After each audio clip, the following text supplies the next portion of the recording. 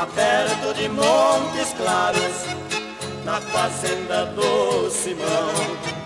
Lá existe uma estátua com um chicote na mão.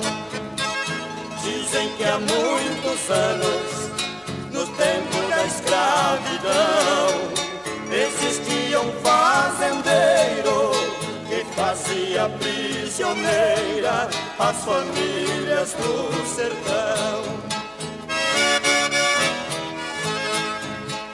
homem e seus capangas matava sem piedade quem tentasse uma fuga da fazenda soledade. O povo morria míngua com uma esperança em vão. Quem reclamasse apanhava, o seu chicote estalava na maior judiação. velho já bem cansado cuidava do seu netinho, fazia oração chorando pra salvar o menininho.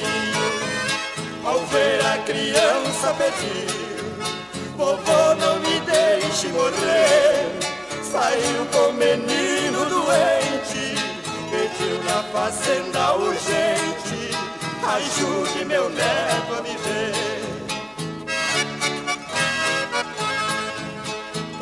rascolhou o velho de ajoelhado ao chão, nos braços do seu netinho, implorava compaixão.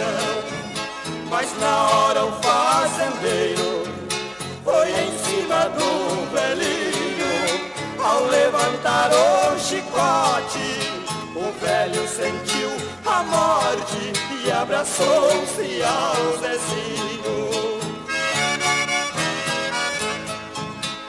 menino amedrontado chamou sua mãe querida.